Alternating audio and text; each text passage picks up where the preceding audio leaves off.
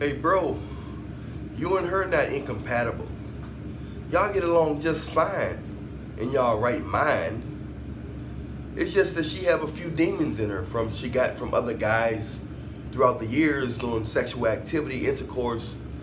You already know that intercourse is an exchange. It's a physical exchange and a spiritual exchange. So a lot of people they exchange telegony, DNA molecules. We all know that most people don't know you exchange generational curses and uh, demons as well. Sometimes some people have angels around them because they have generational angels that's been looking after their family. Some people have generational demons that's been dealing with their family. So we also call them generational curses. So you got to be careful it's just that it's not that you guys not compatible. It's just as one of you guys got some demons in you. you need to go to the altar and get them prayed out in Jesus' name. What's going on is this person not they don't feel easy around you. Something uncomfortable because their spirit got demons attached to them, which causes them to kind of like be resentful towards you. You're like, what is why is me and this girl, why this girl acting like this? Why she acting like that? She know you good for her, but them demons in her. So they, they, they making her hesitate or they trying to convince her, give her a different idea, all kind of stuff. And then you got angels near you. They chasing the demons away. The demons like her. She might be a good host. She might be emotional. She might be revengeful. These are the type of people that demons like to um, be inside of. They like to be inside of people that that's capable of doing some evil. And that's why some demons stay around people longer because some things in their personality allow them to get some things done. A revengeful person, uh, anxious person, um, like you know, a, a high sex drive person. Um, people that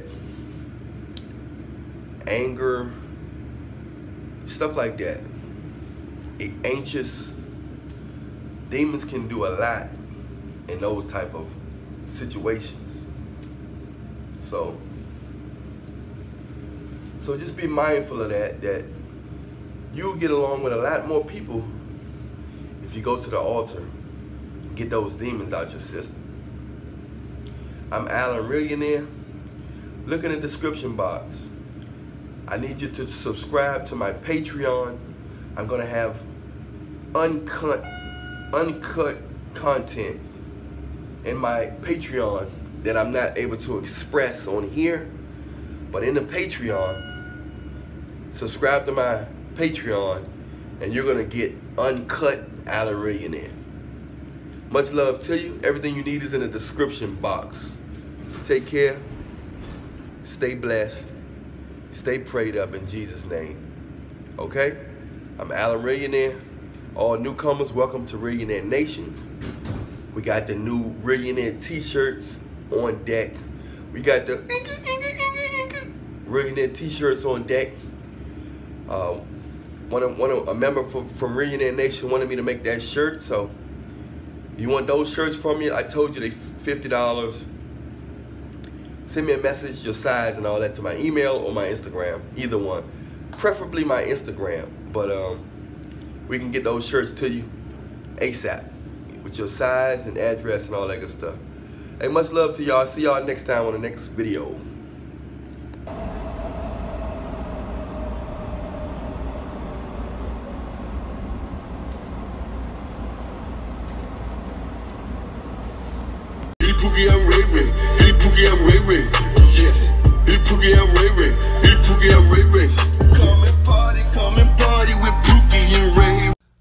Up, Reallionaire Nation? This your brother Allan Reallionaire, Allan Williams, the Reallionaire, the Reallionaire, AWTR.